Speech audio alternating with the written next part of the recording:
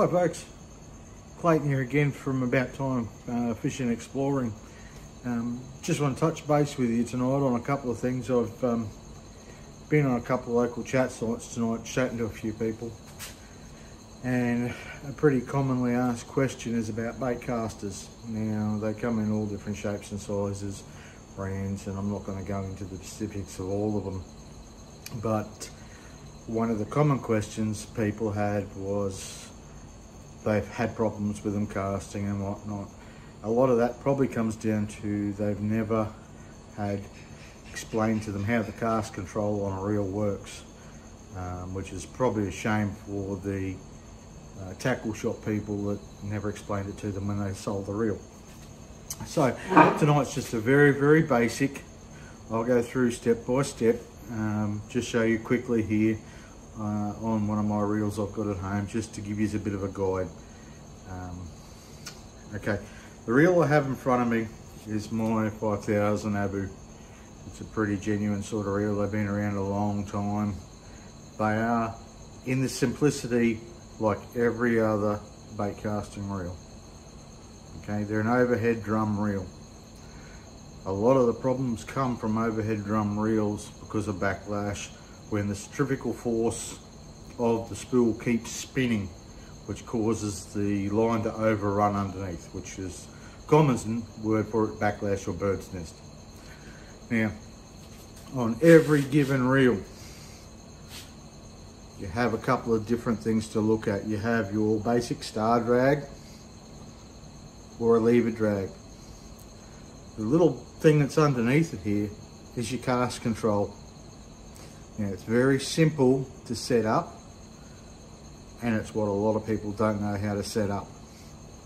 To set up a reel properly, what you do is you grab yourself a rod, tie a lead sinker on the end of it, equivalent weight to uh, a basic lure you're going to use. Alright, so you've got that tied on, nothing fancy. And we're going to go back to the reel now. So, for this to work, it's got to be in free spool. So when you put it in free spool, you can hear the line coming off. Okay, so to set this up, put it back in gear, we back the drag all the way off. So now there is no drag at all on that reel. I can't even wind it.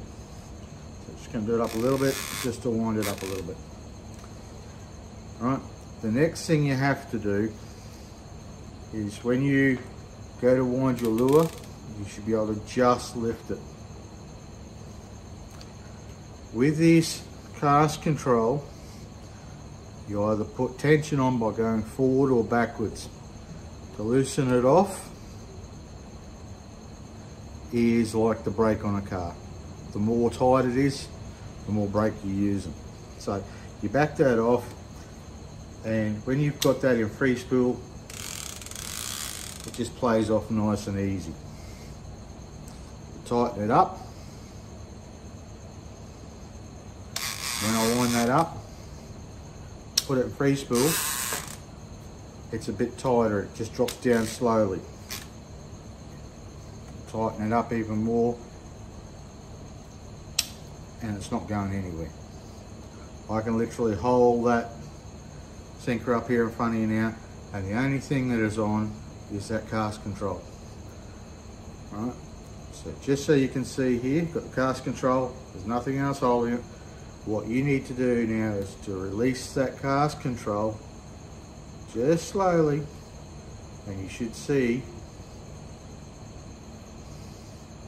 that lead sinker just starting to go down. You can hear the reel just clicking. A little bit more and you'll hear the reel going.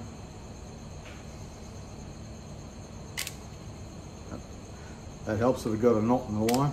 All right, let's just try that again. All right, so we've got the knot out of the way. In free spool. And you'll just see, I've got the sinker here there's no way to, and you'll just hear it clicking over. That's roughly where you want. For someone that's new to casting these, go a little bit heavier. When you cast, put in free spool, keep your thumb on the spool. Cast, the line will play out. If you keep your finger, your thumb on the spool, you won't get the backlash. If you do get backlash, it's because it's coming off too quick. Once again, back off your drag, tighten up your cast control just a little bit. Okay? We'll drag up. Now, your free spool. The sinker's just sitting there, it's not playing, it's not going anywhere. Just backing off the cast control.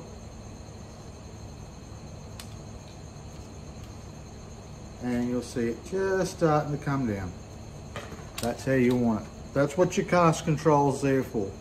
A lot of people don't know about it. They've never used it. They get their reel, put a lure on, cast it to oblivion, and they get a bird's nest and they go, damn stupid reel, never want to use it again. Put it in the box, go grab a spinning reel. These reels are so easy to use once they are set up correctly. So just have a play with that. Get out in your backyard. You don't have to make big casts. Most of the fishing you're going to do is within 20 feet of the boat when you're casting lures. Just little casts in the backyard and just slowly let that cast control off till you feel comfortable with it. Play with it for a while. Get the feel of it. Change some lures. Get the weights. Get used to it.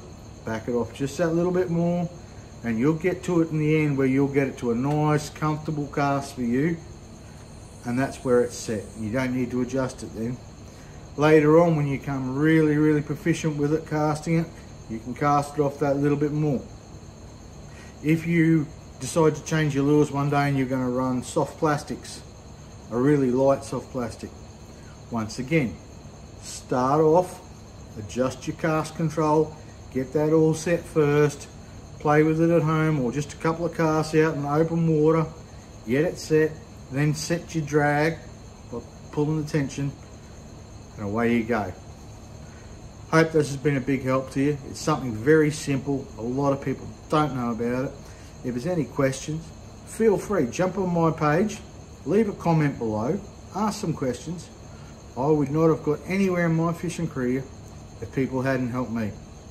That's what I'm all about okay? This is Clayton from About Time Fishing and Exploring. See you out on the water somewhere.